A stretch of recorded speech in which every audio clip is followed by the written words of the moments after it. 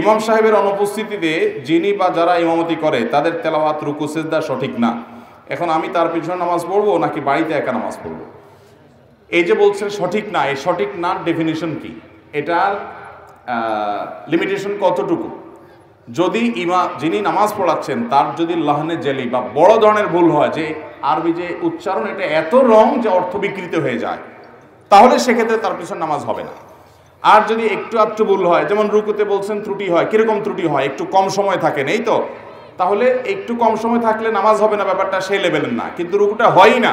পিঠ সে রুকু করার মতো করেই না বা একটা তাজবি পরিমাণ অপেক্ষা করে না, তাহলে সেক্ষেত্রে তার পিছনে নামাজ হবে না। তো এই রকম বড় ধরনের ত্রুটি করে এরকম মানুষ আছে, পরিমাণে অনেক কম। অতএব এই সমস্ত ঠুনকো অজুহাতে একা একা নামাজ পড়া যাবে না। জামাতে নামাজ পড়ার গুরুত্ব অপরিসীম। হাজ্জাজ ইবনে ইউসুফ জালেম শাসক ছিল। ফজর মদ খাইতো, সাহাবিদের হত্যা করত। এরকম জালেম শাসক ছিল।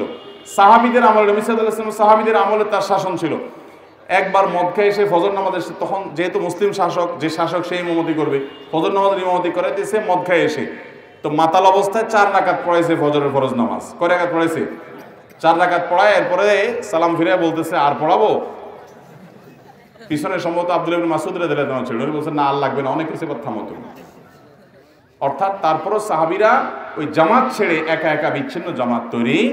ইসলামের ঐক্যের বিষয়টা অনেক বেশি গুরুত্বপূর্ণ। বিধায় এই গ্রামাঞ্চলে, শহরে সব জায়গায় দেখবেন, চুন থেকে নুন খসলে মসজিদ আলাদা করে ফেলা, আরেকটা করে ফেলা। আছে না নেই? কমিটিতে ঢুকতে পারে না, আরেকটা মসজিদ হয়ে গেছে। চার পাঁচজন পয়সাওয়ালা পাইছে, একটা জমি পাইছে, একজন হুজুর বাউ করতে পারছে, মসজিদ একটা শুরু করছে। সমাজে সমাজে বিভক্তি আছে না নেই?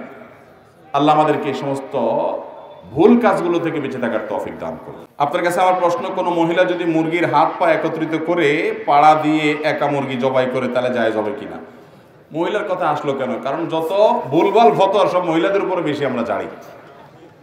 একই মশালা পুরুষ মহিলা সবার জন্য তো সমান হবে, মহিলাদের জন্য তো আলাদা মশালা নেই। মুরগি একা একা জবাই করলে সে মুরগি জবাই হবে। জবাই করলে দেখতে হবে বিসমিল্লা বলছে কিনা এবং রগগুলা কাটা গেছে কিনা। কণ্ঠনালী এবং শ্বাসনালী, রক্তনালী, এগুলা মিনিমাম তিনটা রগ কাটা গেছে কিনা।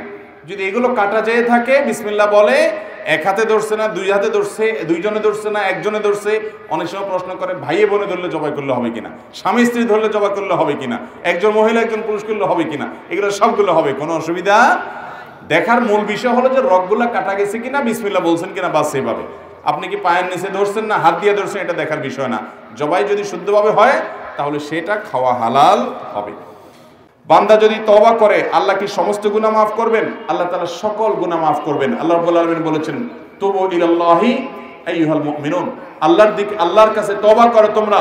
ইন্নাল্লাহা ইয়াগফিরুদ আল্লাহ তাআলা সকল গুনাহ মাফ করবেন। বান্দা যদি সকল গুনাহ থেকে তওবা করে, আল্লাহ তাআলা সকল গুনাহই কি করবেন? মাফ করবেন ইনশাআল্লাহ।